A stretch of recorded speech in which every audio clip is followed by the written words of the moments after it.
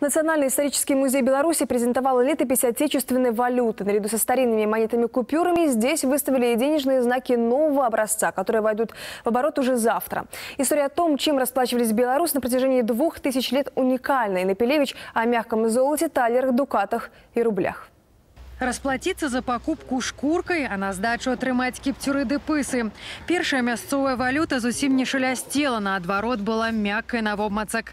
У так званы безманетны перыяд у якасці грошай нашы продкі выкарыстоўвалі вавёрчына футра. Апроч мяккага золата ў таварных адносінах былі задзейнічаны буйная рогатая жывёла и нават ракавіны каўры. Первая валюта э, была в основном это украшения женские, это кусочки э, стекла, э, кусочки янтаря.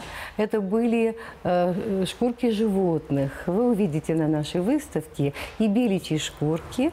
Пять белочек, три белочки, десять белочек, связанные одним шнурком, будь то кожаный, будь то какой-то льняной. И таким вот образом оплатили за тот или иной товар. Первые монеты пришли из Римской империи, а после динаров были талеры, дирхамы, пенеди, дукаты. Нацыянальны гістарычны музей выстаўляе ўсе грашовыя адзінкі, якія хадзілі на нашых землях на працягу амаль дзвюх тысяч гадоў.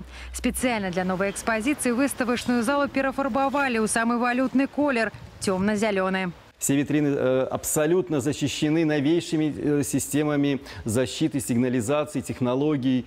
А, очень дорогое удовольствие, но мы выполнили все требования милиции, и после этого проекта мы в состоянии принимать любую дорогую выставку, экспозицию с любого музея мира.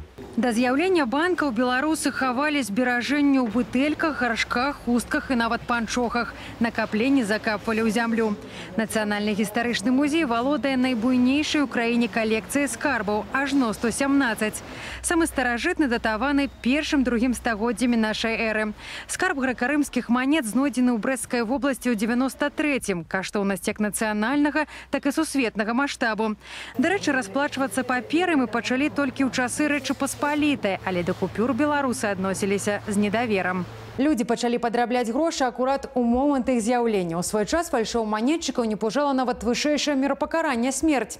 Сёння наведвальнікам вернісажу прапануюць праверыць сапраўднасць купюр. Кожны жадаючы можа скарыстаць вось гэты дэтэктар банкнот у прамым сэнсе прасвяціць усё, што ў кашальку. У богатай экспазіцыі 7 тысяч прадметаў. Апроч манеты купюр прадстаўлены дакументы, якія расказваюць пра грашовыя рэформы. Выстаўлены і прататыпы сучасных калькулятараў, арыфмометры. Хаця больш неабходны аксесуар для беларусаў зараз манетніца. У пятніцу амаль праз 20 гадоў абарот вяртаецца метал.